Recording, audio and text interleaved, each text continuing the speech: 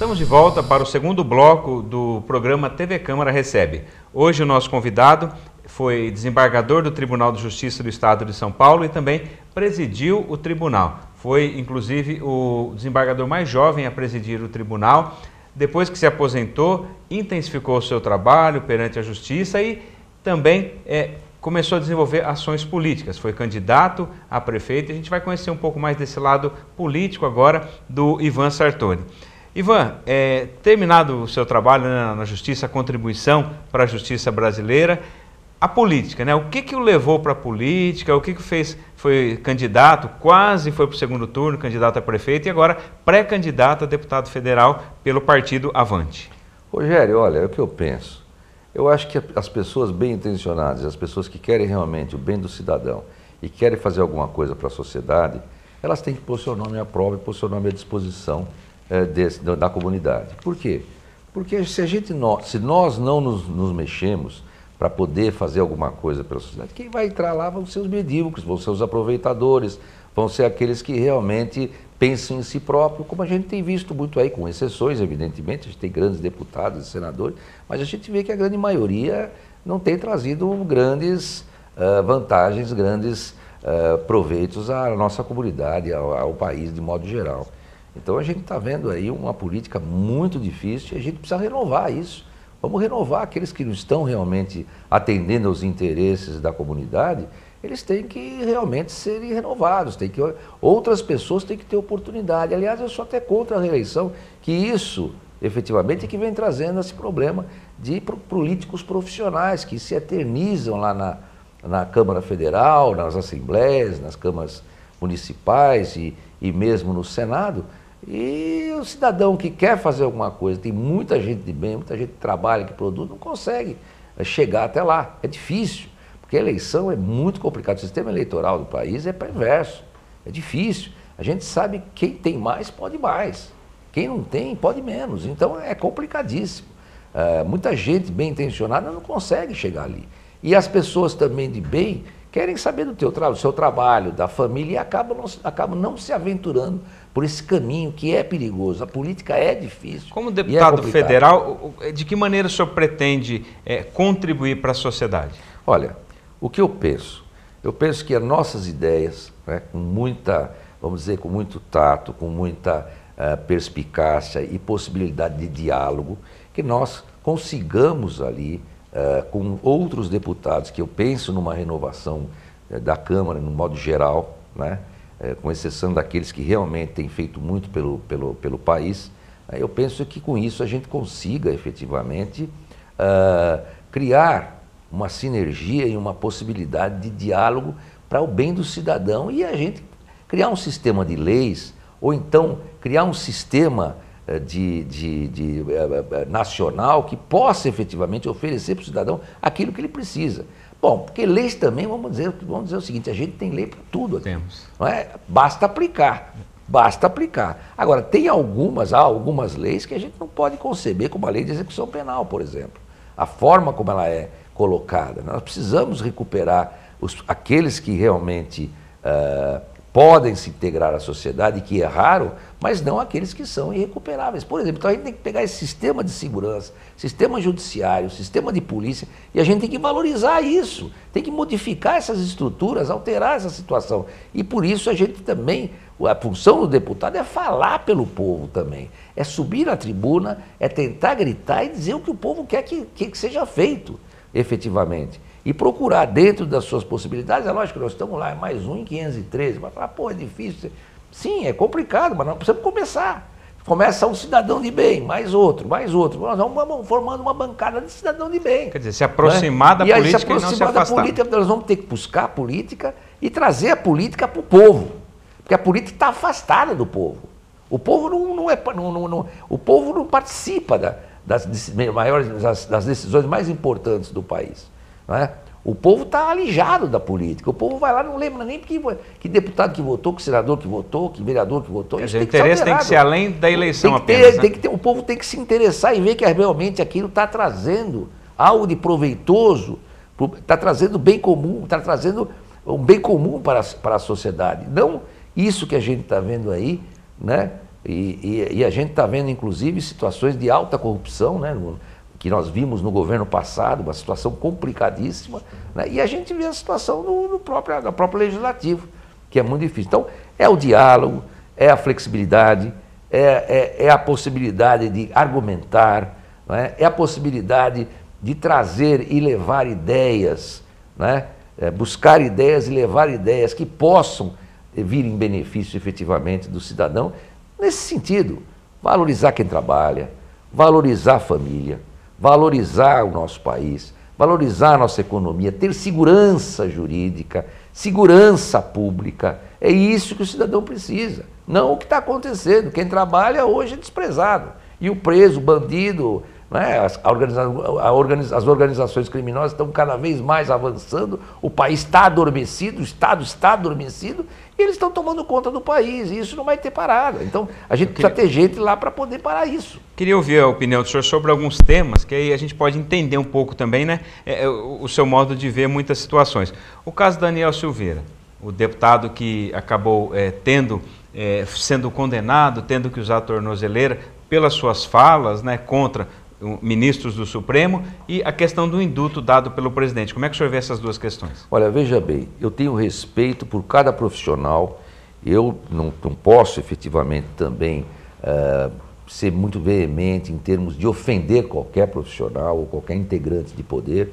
Eu respeito os ministros do Supremo, respeito porque tive inclusive um bom, uma boa, bom relacionamento na época eu fui presidente, nos ajudaram como Toffoli, como Lewandowski, a gente, agora, o que eu vejo com preocupação é que agora o Supremo está saindo, das, está fora das suas atribuições constitucionais, está fora do rumo. Eles, o Supremo tem que voltar a trabalhar como Supremo Tribunal Federal e não como uma espécie de órgão de atividade política. Não é? Então isso tem que ser mudado, tem que ser visto com uma forma. Hoje nós estamos vendo que quem é da esquerda, quem é de determinada determinado segmento, pode falar o que quiser, pode chutar a cabeça de Bolsonaro, réplica da cabeça do Bolsonaro, pode ameaçar o Bolsonaro de morte, pode fazer ameaçar todo, todo o resto, todo, e qualquer pessoa de morte, inclusive falar mal do Supremo. Agora, quem é do outro segmento, que é um pessoal mais conservador, não pode falar. Então a gente tem exemplos aí, como o Alan dos Santos, a gente tem um exemplo do próprio uh, deputado Daniel Silveira, a gente tem agora mais um, um jornalista preso, não estou me recordando o nome dele, não sei se você está lembrando aí, que está preso, não se sabe qual o processo. O que Estáquio? Ele... Não, o Estáquio, eu ia falar o Estáquio, até sofreu todos os problemas, mas tem um outro que agora se encontra preso, não é? Depois nós vamos lembrar o nome dele, que é importante a gente falar o nome dele. Então, enfim, a gente não pode falar. Você vai falar que precisa auditar a urna? Precisa auditar a urna. A urna tem que ser auditada, lógico. Eu ia perguntar Ninguém está essa... contra a urna eletrônica, ninguém está contra o sistema eleitoral eletrônico. Isso é ótimo, mas nós temos que aperfeiçoar. Vamos discutir. Não se pode falar nada, é, é proibido falar. Hoje nós temos na Constituição consagrado, artigo 5 inciso 4 inciso 9 a livre manifestação do pensamento. A gente pode falar o que quiser. Se eu quiser falar sobre o AI-5, se eu quiser falar sobre comunismo, se eu quiser falar qualquer ideologia, eu respeito todas as ideologias, desde que posso não concordar, mas posso falar. O que não se pode é partir para ação negativa e querer destruir instituições, o Estado, é diferente. O senhor acha que está tendo um cerceamento ou não da, da, da liber... a gente ah, nós quer liberdade de, de, expressão? Estamos cerceados da liberdade de expressão, nós estamos vivendo uma ditadura nesse ponto. E o homem que não tem liberdade para manifestar seu pensamento é um homem que não tem direitos. Isso vai contra, inclusive, os próprios tratados internacionais é princípio elementar e nós estamos vendo que isso não está acontecendo sob qualquer pretexto, pretexto de fake news, pretexto qualquer que seja o pretexto. Aquele que abusa no seu direito de manifestação, ele tem que responder uh, penalmente, civilmente, pelos processos, pelo, pelo sistema processual que está aí, que existe. Crime é, contra a honra, indenização. Agora, você prender o cidadão porque, porque disse determinada coisa, isso não existe. O crime de opinião não existe. Nós vimos isso agora que o Alan Garcia não foi, aí não foi aceita a extradição dele lá nos Estados Unidos, porque lá não existe crime de opinião. É aquela história, né, que atribui ao Voltaire. Eu posso não concordar com uma palavra do que você fala, mas defendo até minha última gota de sangue o direito de você dizer, de você falar. Ah, eu respeito todas as ideologias, respeito todos os pensamentos, mas a gente não pode efetivamente respeitar aquele que faz por, por deturpar o país, por derrubar o país, por poder é, efetivamente é, derrubar as instituições. Mas isso concretamente. E não numa manifestação e, pura e como de pensamento. chegar nesse limite? Manifestação do... de pensamento é livre. É simplesmente não existir censura. Não tem censura. É o artigo 220, inclusive, da Constituição, artigo 5 inciso 4, inciso 9. Não há censura nesse país. Nem Supremo, nem. Ninguém pode censurar cidadão nenhum. Desde que ele não esteja praticando um crime, que eu digo em ação, depondo, vamos dizer assim, vai, concretamente montando uma milícia ou montando algum, alguma estrutura para poder derrubar alguma instituição governamental, se ele não está fazendo, ele está só falando, ele pode falar o que ele quiser. Agora, se ele ofender alguém, se ele desrespeitar alguém, tem os mecanismos próprios aí para ele responder penal e civilmente. O senhor acha que essas falas, por exemplo, do presidente atualmente, é, dizendo assim que é, talvez não aceite o resultado das eleições ou que ele não acredita na questão das urnas ou dos resultados. É, é como é que o senhor vê essa questão, é, dita né, por, por, um presidente, com relação às instituições? Olha, eu, eu vejo com preocupação o seguinte: você não poder discutir o sistema eleitoral, você não poder aperfeiçoar, discutir aperfeiçoamento do sistema eleitoral é muito preocupante. E é isso, é com isso que o presidente está preocupado. É com esse problema que o presidente está preocupado. A gente está vendo que o, o, Judiciário Superior, Supremo, é realmente, está numa posição realmente contrária ao presidente. Isso é inegável. Não é? As inúmeras intervenções na, no Executivo, não é? as situações de, de perseguição por crime de opinião, inclusive perseguição seletiva, pessoal só de um lado, né? Isso traz uma preocupação, porque é justamente esse mesmo Poder Judiciário Superior que vai presidir as eleições. Então, eu acho que a preocupação do presidente é razoável, é uma preocupação que pode ter fundamento. Lógico, ninguém está aqui duvidando da honorabilidade de ninguém, de nenhum ministro, até conheço os ministros supremos. Mas a gente fica preocupado quando não se admite a discussão do aperfeiçoamento. Você acha que a discussão sistema. é saudável é, com relação que é saudável. a isso? Eu acho que discussão acerca de um processo. Que é o principal direito do cidadão, o direito é o direito de voto. É? Isso é a cidadania, isso é o principal. Se a gente tem isso, que isso, se isso puder ser comprometido, ou vier a ser comprometido, seja por uma invasão de um hacker, seja por uma intervenção de alguém de fora, seja o que for, não é? a gente tem que ficar preocupado. Então é com isso que o presidente está preocupado. Porque é, esse sistema tem que ser totalmente transparente, não pode ter sala secreta, não pode ter um sistema que não possa ser auditado. Né? Então eu acho que isso tem que ser levado em consideração, com todo o respeito, inclusive aos próprios ministros do Supremo. A gente tem que dialogar. Agora, por exemplo, eu fiquei frustrado com o discurso do ministro Faquim, quando ele disse que é comandante das Forças Desarmadas, desprezou o Exército. Ora, o Exército está querendo ajudar, ele foi chamado pelo outro presidente, pelo anterior presidente do Tribunal Superior Eleitoral. O Exército tem uma unidade ali que é a unidade de excelência em termos de defesa digital, do sistema digital, de proteção do sistema digital. E o Exército pode ajudar muito. Agora, você, um ministro do Supremo, que tem que trazer tranquilidade, segurança, é o último guardião da nossa democracia, seria o último guardião da democracia, pro, profere um discurso desse, proclama um discurso desse explosivo, colocando mais lenha na fogueira, a gente fica muito preocupado. Muito preocupado. O senhor foi cotado, o, seu nome foi lembrado para assumir o Ministério da Justiça com, ah, quando o ex-ministro Sérgio Moro deixou o cargo.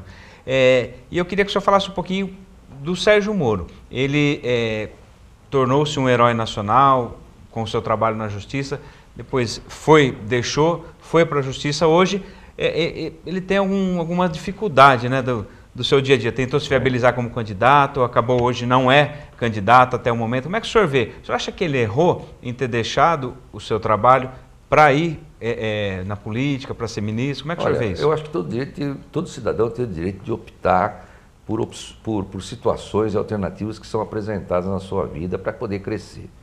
O ministro, o, o ministro Sérgio Moro, antes juiz federal, que presidiu a Lava Jato, para mim era um herói. Né? Um homem que fez um trabalho maravilhoso, magnífico, foi um homem corajosíssimo, um homem de grande coragem. Né? Mas ele se acabou se perdendo né? com essa questão de sair do judiciário. acabou indo para o Ministério da Justiça e Segurança, ali ele não fez absolutamente nada.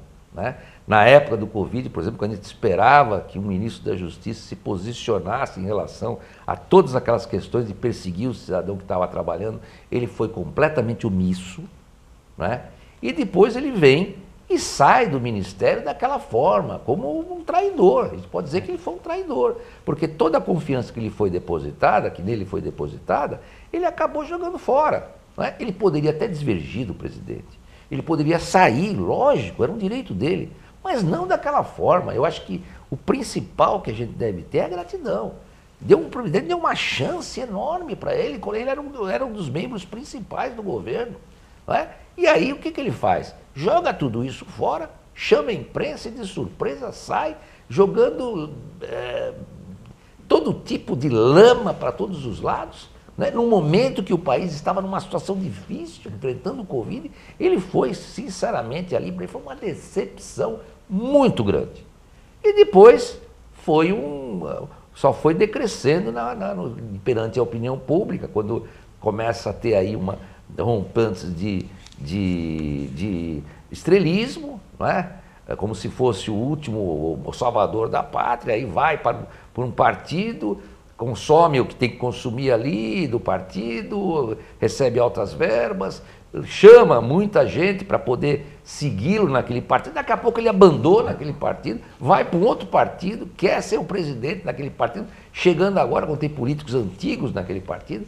Então ele acabou se perdendo completamente. E é lamentável, porque o Moro, o que ele fez da Lava Jato, e se ele tivesse realmente é, uma assessoria, vamos dizer assim, tivesse seguido uma assessoria adequada política, ele hoje poderia ter sido ministro supremo, poderia ser ministro supremo, poderia ser o vice do Bolsonaro, poderia ser até um candidato forte à presidência. Faltou essa habilidade. Faltou essa habilidade, é o egocentrismo, é. é aquela história de você se achar estrela.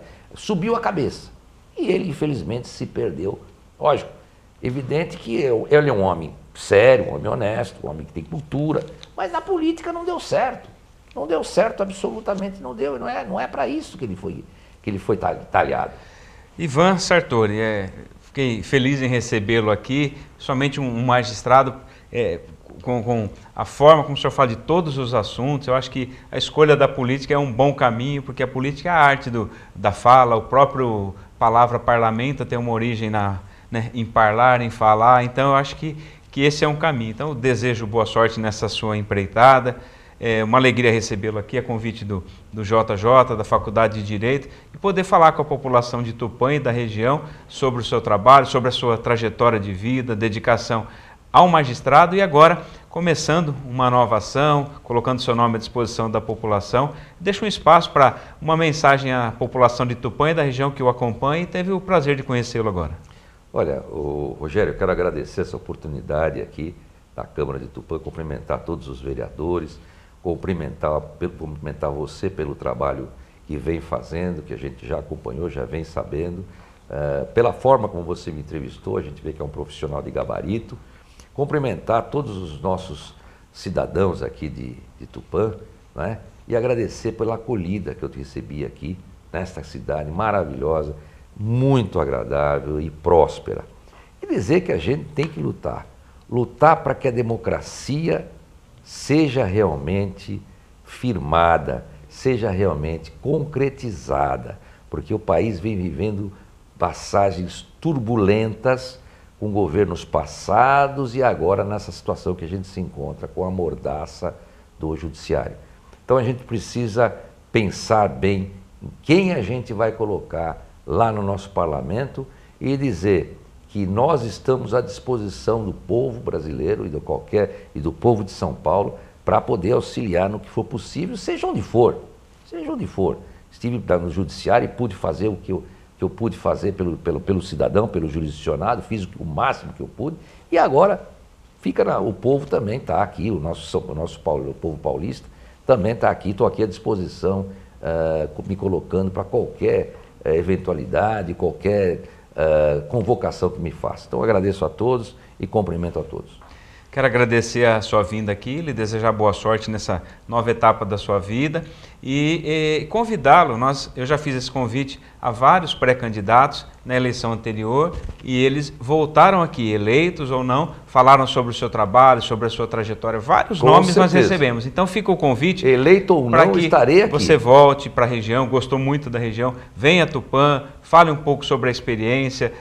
Se eleito, volte aqui para falar dos projetos, como Sim. pretende trabalhar nos próximos quatro anos. Com certeza. Boa sorte e se você quer de uma, de uma cidade de, como Santos, uma cidade nosso rei do futebol, em um lugar tão bonito, né, que, que leve também esse, esse orgulho para o parlamento, caso seja eleito. Muito obrigado. Muito obrigado, Rogério. Agradeço a todos.